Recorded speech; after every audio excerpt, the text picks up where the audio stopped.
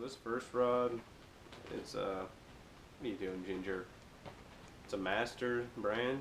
It's a what is it? 24 inch 5 to 1 gear ratio. This is the one I used a lot last year.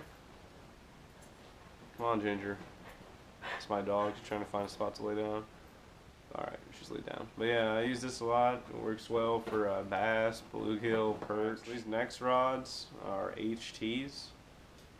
Uh, they're called Ackercast, so, you know, that's cool. I think one's a 24 inch right here. This is a 24 inch 5 2 to 1 gear ratio, and this one is a little bit longer. It's 26 inch 5 5 to 1, 5 5 to 1. So yeah, they're nice little smooth rods. I got all these rods pretty cheap on sale at Walmart, which is fine with me. So if you have any questions on whether or not they work good, just let me know in the comments. I'll be fishing with them most of the winter. Alright, so this next one is a heat wave. It's 5 2 to 1 gear ratio, 24 inch rod. Nice and smooth. One thing I don't like about it though is it's kind of held on by the just these two rubber bands here. So that's the heat wave rod. Next one, my favorite, it is the infrared. It's a 24 inch rod, 5 2 to 1 gear ratio. It's really smooth. Has a nice handle. This is probably the higher end ones we got at Walmart. So we'll see how this one works this year. I like it a lot so far. Another HT, I guess Walmart likes their HT brand. So this is the Neon Ice Extreme ram.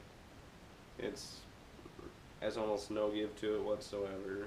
It's a 26 inch and it's a 5 5 to 1 gear ratio. So this is going to be for pulling out the big hogs, I guess, if you're fishing for big walleye, big bass.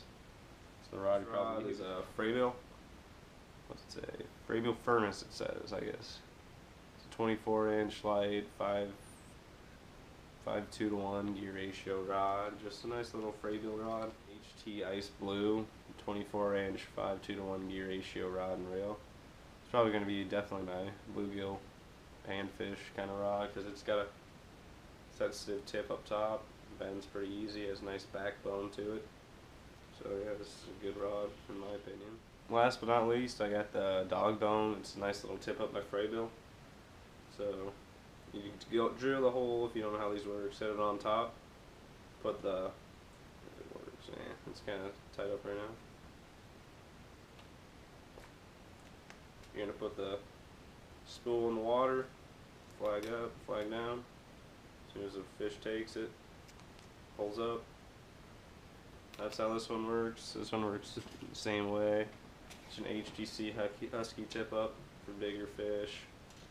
Same concept. So what I'm gonna try this year is a, a treble hook. Put that to the side of a minnow and just put those out in the lake. Try to catch some muskie for uh, walleye, bass, anything that'll bite it. Catfish. I'm talking to you about my Vexilar and then some of the fishing tackle I use. It's not all my fishing tackle. I'm still hoping to get some more, trying out some new lures and all that kind of stuff for this year. Uh, I normally tip my lures with wax worms, so that's that. Also, a plug for another video of mine. If you want to know how to get into the ice without an ice auger, I'll link that video up in the description, down in the description, or up in the card. So just click on that when it pops up. So this is just a little look at my uh, ice fishing tackle box.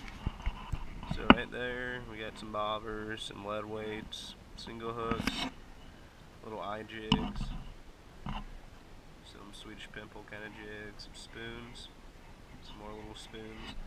These I use a lot uh, with waxtail worms, catch a lot of bluegill on these. And then some more little jigs. We have hooks. These wax worms came with a bunch of these right here. We got those at Walmart. And then we got this light to blow up the jigs down there. Make that glow. Alright, last but not least, I got my nice little Vexilar I picked up. It's a FL8. Works pretty good. Alright, thanks for watching today guys. Hope you enjoyed. If you learned anything, hit the like button, subscribe, comment. Comment if you have any questions. Thanks for watching guys.